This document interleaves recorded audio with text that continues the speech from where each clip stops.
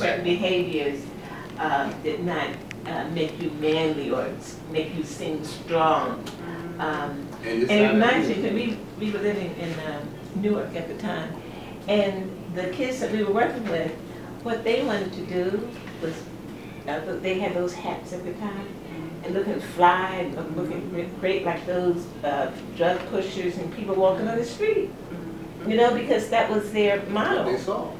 And, um, and the badder you were, the. Lower more your pants, lower your pants had. hang on. Because at first, remember, That's he what we kept, have now. kept saying to, um, to Howard, you know, you, you need to do something hard, you need to do Mhm. something tough, you know, to be a man, but But see how He got protective he things- came, he was when Howard got in that The uh, little boy. tussle with the, the, the thug.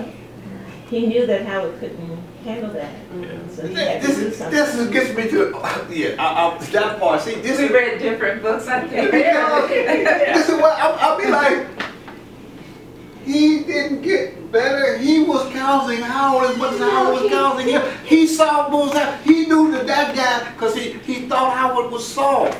And what happened Yeah, is, he when, said it in his lip. when, when, when the boyfriend jumped out there To the judge. on Howard, he said, oh, Howard ain't gonna win this. That's right. I got to take control here, cause see, That's right. Howard too soft. That's what he told I the judge. understand what's happening. He got nothing In to kill. defense, his attorney, last letter. in defense. I read, wait, Did you read his I read very the book last twice. letter? I'm telling you, dog. When, when that at that moment when that happened, Lil Dap was not the Lil Dap you think about. He looked at the whole thing from a street perspective. did you No, read, did you read his last He was defending. letter? Yeah, he was he was defending You didn't read Howard. Yes, I did. He was. Read it. Oh. Read it, you'll see he changed. Read it. Wait a minute, hold it. I'm not. I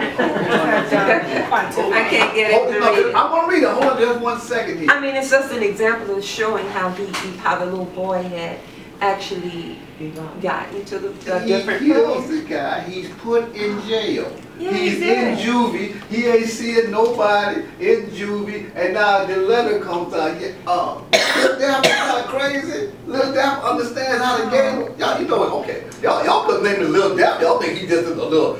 He's a nine-year-old, and he is not worldly. He's not Howard when Howard was nine. Look, Dap understand how things flow. Check out how y'all raise this school and everything back. But that But do you that's wanna not, see the uh, last- the last could thing? all of that, but Let me he can read- let me still, read the uh, last- improve, uh, rest. Ashley. Mhm. It could be all of the things that you're saying, but, uh, oh, the question was, do you think that this intervention helped?